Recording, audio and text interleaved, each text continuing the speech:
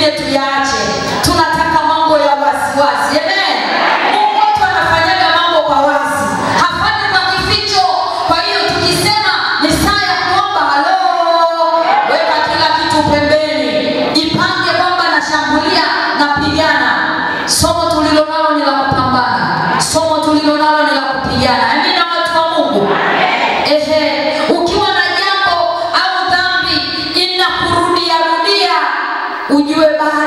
shinda kwenye hilo eneo.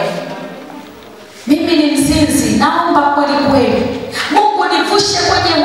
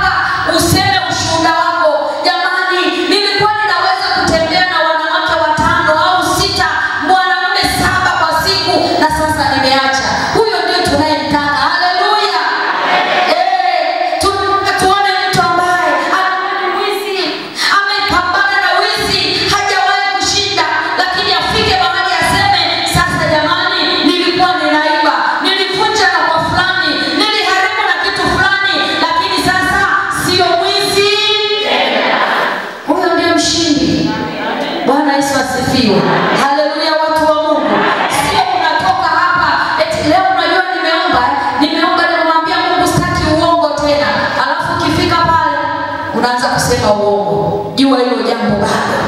Ukiona jambo linajirudiarudia kwenye maisha yako lina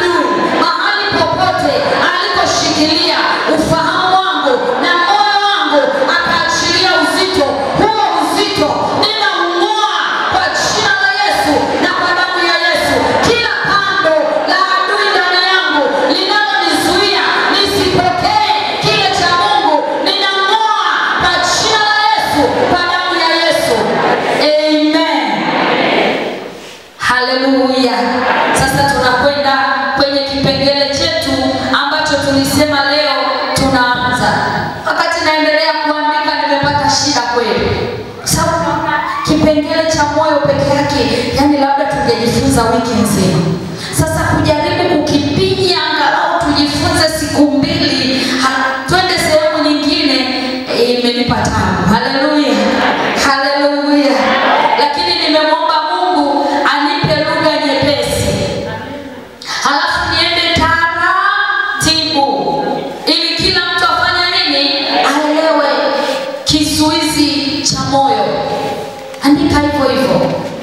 kizuizi cha moyo. Kumbuka, tunajifunza vizuizi vinavyofanya tushindwa kupokea majibu ya maombi yetu ama kupokea baraka zetu kutoka kwa Mungu. Kwa hiyo tunaanza na kizuizi namba moja ambacho ni kizuizi cha moyo. Mimi sio daktari, sijasomea udaktari. Bwana Yesu asifiwe, lakini ninacho kile cha Roho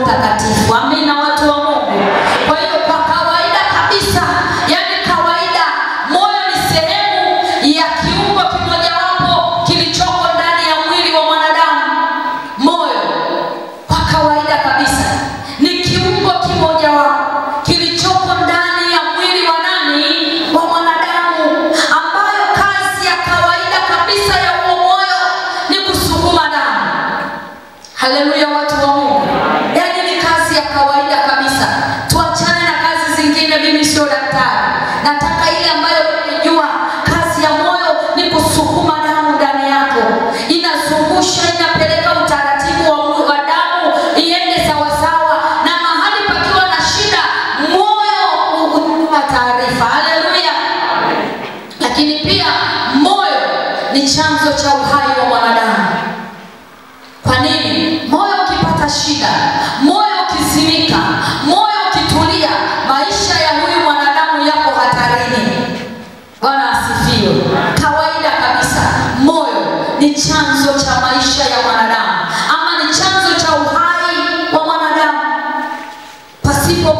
tuishi. Moyo ukisimika, tutasikia huyo mtu anaongezewa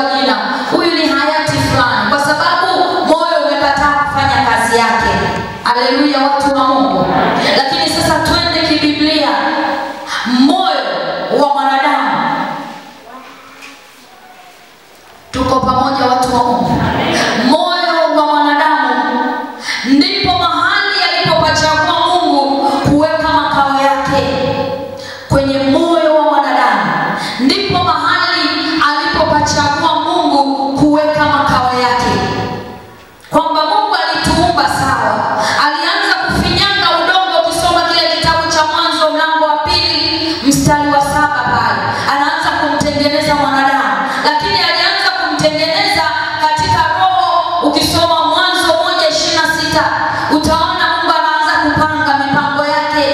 Inawezekana naye alianza kupanga kwenye moyo wake kwamba nataka tumfanye mtu kwa mfano wetu, kwa sura yetu. Tutaona mbele kazi ya moyo mmojawapo ni kuumba jambo nalo likatendeka. Tutaona tutakapofika kwenye hicho kipengele, lakini mimi nataka tusimame kwenye moyo wa mwanadamu ndipo alipopachagua Mungu kuweka makao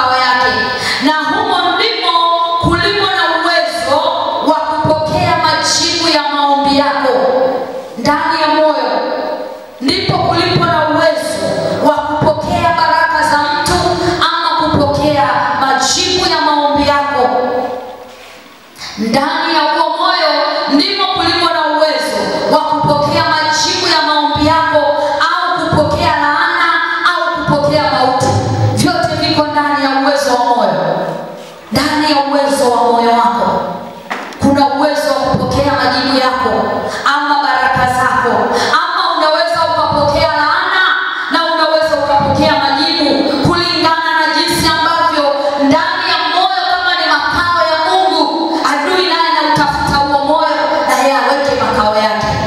Hebu kwanza tusome kile kitabu cha wakorinto wa kwanza. Wakorinto wa kwanza mlango ule wa kumi na sita. Kwa sababu ni mstari mmoja tu, tutasoma mpaka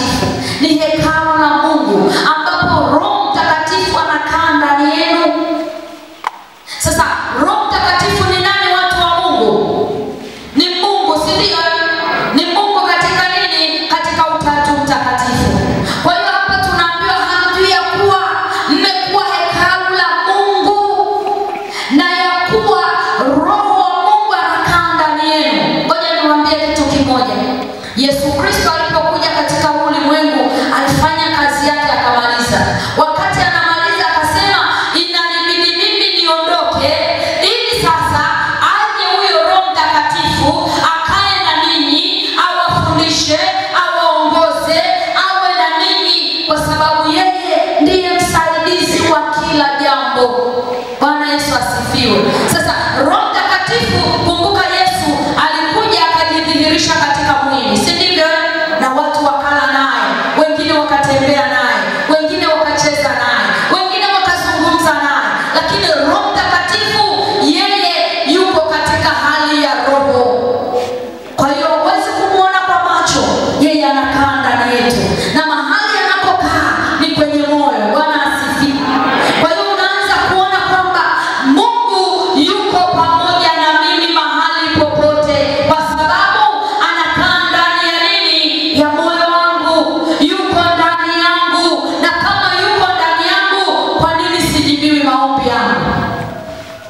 할렐루야 저와